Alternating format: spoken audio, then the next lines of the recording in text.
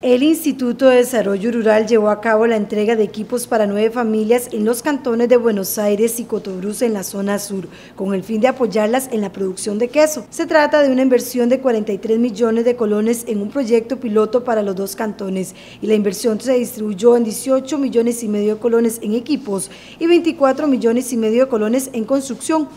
Con ello se pretende mejorar la calidad e inocuidad de los derivados de la leche, es decir, leche, natilla, queso y otros productos.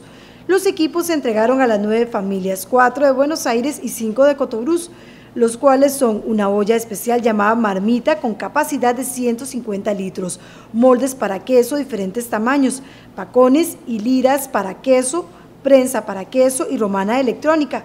Se ha trabajado desde un inicio en conjunto con el Servicio Nacional de Salud Animal y el Ministerio de Agricultura y Ganadería para realizar la selección de las familias y las inspecciones, tanto en campo como a nivel de proceso.